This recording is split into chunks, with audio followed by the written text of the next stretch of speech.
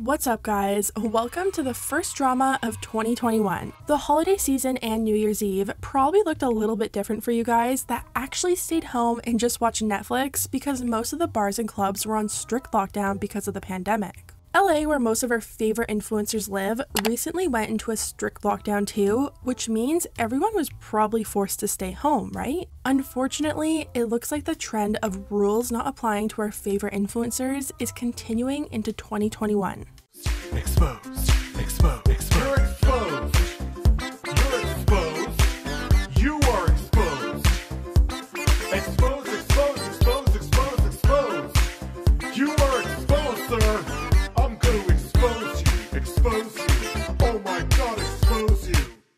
Right before Christmas, James Charles posted a TikTok video with all of his popular TikTok friends like Charli Dixie and their boyfriends.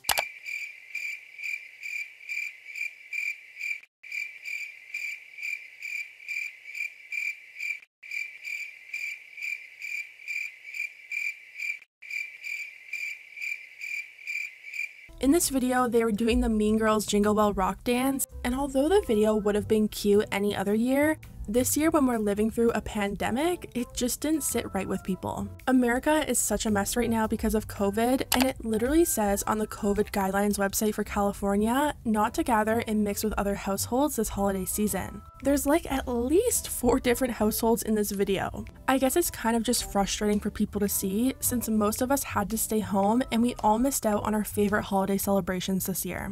People in the comments of James' video were really upset with him, and he ended up disabling his comments on that video after receiving a ton of backlash. It gets worse though. Charli Dixie, Noah Beck, Chase Hudson, and a few other TikTokers decided to go on a year end trip to the Bahamas. Charli and Dixie haven't been documenting their trip online, probably to avoid backlash, but their friends have been posting, and you can clearly see Charli and Dixie are with them all.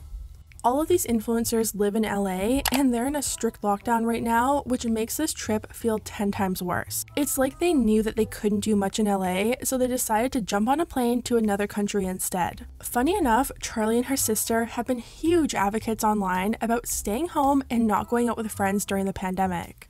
Please stop being so inconsiderate to others because you may think like, oh, this isn't going to affect me. Like, there's no like, this isn't. It's not that bad. Like, whatever. You're thinking like, oh, you're a teenager. You're neon. Like, you are putting other people at risk to get get hurt and to be like in pain.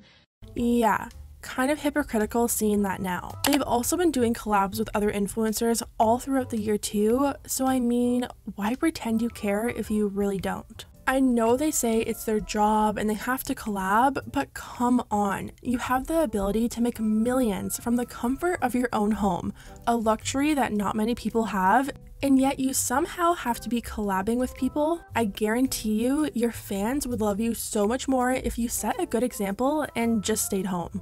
Charli and her sister have both been ignoring this whole situation. Every single tweet they post, like 99% of the comments, are people calling them out for being in the Bahamas. Here's what some people had to say. You're literally so immature and selfish. Being in the Bahamas when people are dying every second, people are dying, Charli, and you're sitting on the beach with your immature friend group? There's people dying alone in hospital beds, but influencers like Charli D'Amelio are going for holidays in the Bahamas because they feel like it? Why would anyone make these people famous? A lot of people were speculating that James Charles actually went on the trip too. There were tons of tweets circulating calling James out for being in the Bahamas with Charli and Dixie. Although James decided to jump on Instagram and clear that up for people. He said, Waking up this morning in Los Angeles. Just thought I'd let y'all know since some people seem to think I'm elsewhere. Moving on, let's talk about Tana Mongeau. Tana posted a video on Instagram with Jake Paul and tagged the location as We Moved. Jake later posted a video saying that he was moving out and selling the Team 10 house in LA to focus on his training, although he never did say where he was moving to. It's the end of an era, a start of a new one. The problem child era. Guys, I didn't want to make this video. I don't really know what I'm going to say in this video. And this isn't an easy video for me to make because the decision to move outside of California for me was a very tough decision. The main reason for this is I'm stepping into a new chapter of my life where I am a legitimate pro fighter. And being in Los Angeles, there's so many distractions, there's so much going on, and it doesn't really allow me to focus on training. As you guys know, for all of my training camps, I've went to Big Bear, I've went to Las Vegas, because those places are a better environment to become the best athlete that I could possibly be. And Los Angeles, as you guys know, has all the partying, all the madness here, like so many distractions, and it's too much to be around. Later on, Tana posted an Instagram story where she says that Jake sold his house in Calabasas and bought them a house in Miami. Worried that he sold the house in Calabasas, but look at this one he just got us in Miami. See, it's fine. Uh, So it looks like Tana is just in Miami to help Jake move and get settled into his new house, so no big deal, right? Wrong. It looks like Tana actually flew down there with other intentions because she's been caught on Instagram stories partying with a bunch of influencers in Miami. Def Noodles tweeted, COVID party alert. Jake Paul, Tana Mongeau, and several other influencers partying in Miami where COVID restrictions are looser. Basically, everyone who is with them flew in from different parts of the country like Ohio, Colorado, and California. No one quarantined. Yeah, Tana was literally just in Colorado with a whole bunch of other people and never quarantined between her trip to Colorado and her trip to Miami. In fact, I think she literally left for Miami the next day. While in Miami, Tana went to yet another party. She didn't document the party on her own Instagram, but her friend sure did, and people were really mad. Then New Year's Eve rolled around, and Tana documented her New Year's party all night long on Instagram. She shared photos and videos of her on a boat, not wearing a mask, and getting extremely close to people. She also posted, ending 2020 with the same circle I started with. It's just a little smaller. The ironic thing about this whole situation is back in the summer when Tana was caught partying with Erika Costell, she actually issued this huge apology on her Instagram saying that she would never party again during the pandemic.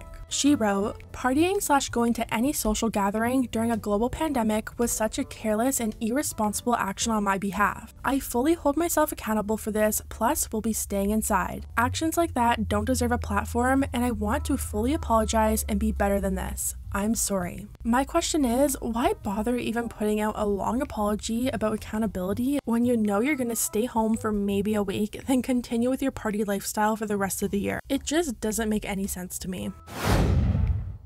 Nikita is another influencer that decided to go out for New Year's Eve in Miami. She tweeted, My New Year's dress took 35 minutes to put on, and I literally had to call the hotel staff to help me. 2021 is off to an amazing start. She later deleted that tweet when she was getting called out for partying during a pandemic. Nikita didn't post any footage from the party that she went to, but the next morning she did post pictures and videos of her dress on Instagram. You would think some of these influencers would put their messy past behind them and actually go into the new year with even an ounce of responsibility, but nope. Anyways, guys, let me know what you think about everything down below. If you liked the video, hit the thumbs up button because it really does help my channel, and I'll see you next time.